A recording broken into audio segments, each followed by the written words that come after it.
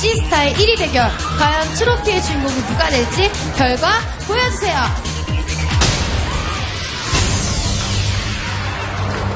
네, 오늘의 최종 결과 먼, 먼저 음반 판매 점수입니다.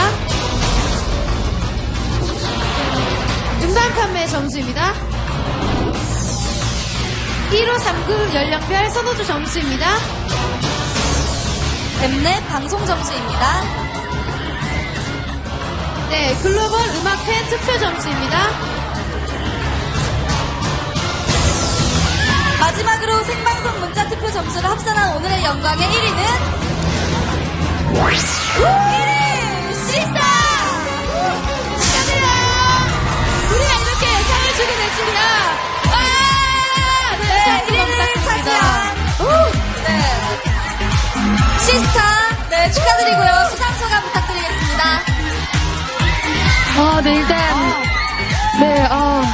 하나님, 말씀을 좀 네, 해주세요. 일단, 하나님 아버지 너무너무 감사드립니다. 네, 스타쉽 엔터테인먼트 김시대 사장님, 서현주 이사님, 김강희 실장님, 또 성훈 오빠, 또 많은 매니저들, 또 나리 언니, 혜수 언니, 민아 언니, 진영 언니, 또 지선 언니, 많은 언니들 너무너무 감사드리고요. 항상 좋은 곡 주시는 용감한 형제 오빠, 그리고 좋은 안무, 디큐, 규상쌤, 용덕쌤 너무너무 감사드리고요. 시에서 나인틴 뮤직비디오 너무나도 멋있게 찍어주신 주희성 감독님도 너무 감사드립니다. 항상 저희 시스타 아껴주는 미영 언니, 지희 언니, 또 많은 승원 오빠 또 너무너무 감사드리고요. 저희가 시스타가 아닌 이런, 어, 부족한, 어, 둘이 이렇게 무대에 서서 이렇게 큰 상을 받게 해주셔서 일단 너무너무 감사드리고요.